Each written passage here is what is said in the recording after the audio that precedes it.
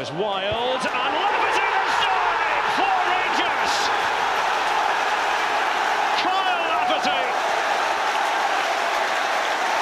The Dundee United defenders, for once, had no answer to the Northern Ireland international. Rangers have had to wait an hour, but now they have the lead on Tayside. It's a great ball in from Wylde.